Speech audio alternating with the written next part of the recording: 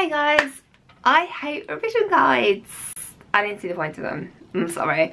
I know this is, I know some people are going to get upset at this, but I don't see the point of them. So I made you a free one.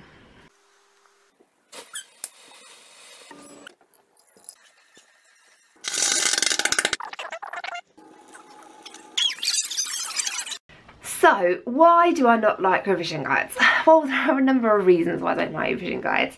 Um, if you're going to spend money on something, I think you might as well just spend that little bit of extra money and get the textbook that has everything in it. Um, revision guides don't have everything in there. They're skipping parts out. They're very thin. They're very, very short. They don't have everything in there.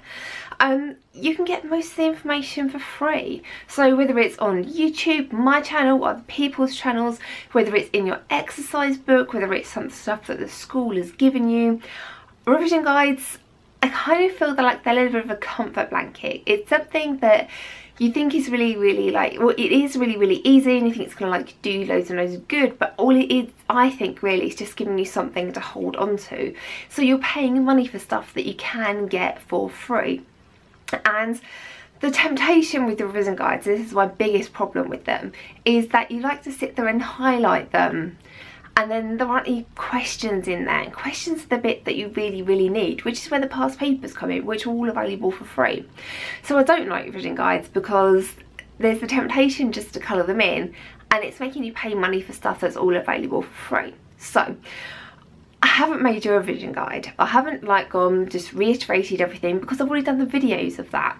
You know, I've got the whole of AQA C1 video that's processing over there now. I've already made you the revision guide. It's just a video format, so you can't colour it in.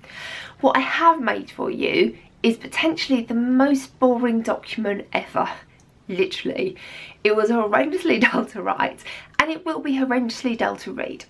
What I've done is I've taken specification, which is that really, really long, boring document that um, the exam board tells us what to teach you. So this is what the exam board expects you to know and I've just turned it into a tick list. Now this isn't revolutionary, I'm sure loads of teachers have given you tick lists before.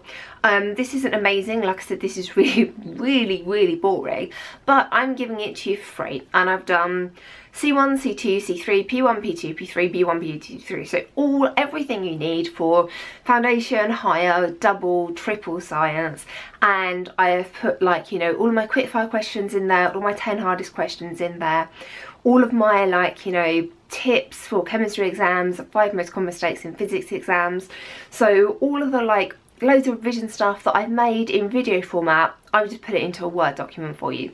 Now it is 130 pages long. Yes, it's long, um, but it's free.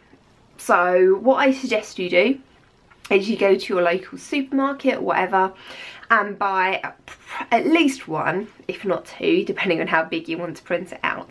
Um, you know, stacks of paper, probably a couple of print cartridges as well, and then spend a weekend morning printing it out. In the description over on my website, I've also put a link to a Google Drive where I've put loads and loads and loads of free revision resources that I haven't made, um, that other teachers have made up there for you.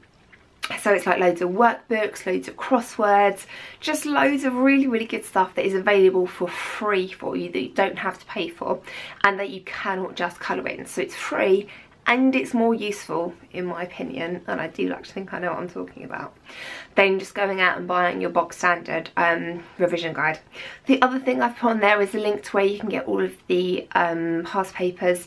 Again these are the best thing you can do to revise and you don't have to pay for them they're all available for free. Now I know it's going to take you quite a lot of time and you know you have to spend some money on the print cartridges and the um, paper to print it all out. But this is really really going to be worth your while. So I'm sorry if anyone is upset by the fact that I hate revision guides. I don't mean to be rude to anyone but I really don't like revision guides. I think you use them as a comfort blanket. When they're not the most useful things in the world I think there are better ways to revise like I've just said. Um, and I'm sorry if you've already spent money on a lot of revision guides. I've made you one for free. Good luck guys